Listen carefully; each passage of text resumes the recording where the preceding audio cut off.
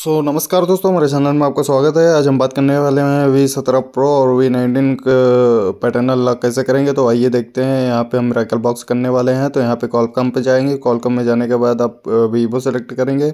Vivo select करने के बाद आप मॉडल सेलेक्ट करेंगे। आपका वी सत्रह प्रो है कि वी नाइनटीन है। यहाँ पर आप सेलेक्ट कर लेंगे जो आपका मॉडल जैसे मिलेगा। तो मैं मॉडल सेलेक्ट कर रहा हूँ। आपको कैसे फार्मेट मानना है कि आपका पूरा फार्मेट हो जाए अच्छे से? कोई दिक्कत ना आए तो आप यहाँ पे मॉडल सेलेक्ट कर लेंगे और फिर उस मॉडल सेलेक्ट करने के बाद आप क्या करेंगे ईडियल पॉइंट में कनेक्ट करेंगे।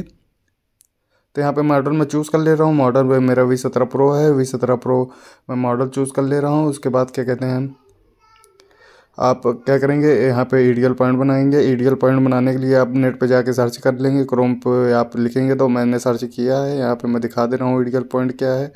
तो ईडियल पॉइंट यहाँ पे सर्च कर लेंगे आप दोस्तों। आप वी नाइनटीन हो, चाहे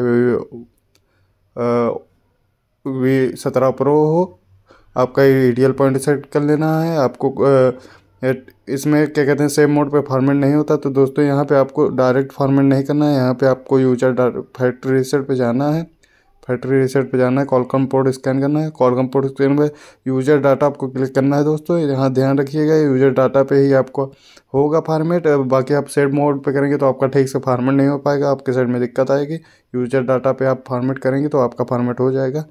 वीडियो अच्छी लगे तो इसको लाइक कर दें शेयर कर दें सब्सक्राइब कर दें। ये वी पंद्रह प्रो सत्रह प्रो और क्या कहते हैं वी नाइनटीन जो सपोर्ट कर दिया है मेरे कल बॉक्स में, उसका अपडेट है। बाकी हमारे नए चैनल में हैं तो आप सब्सक्राइब कर दीजिए लाइक कर दीजिए।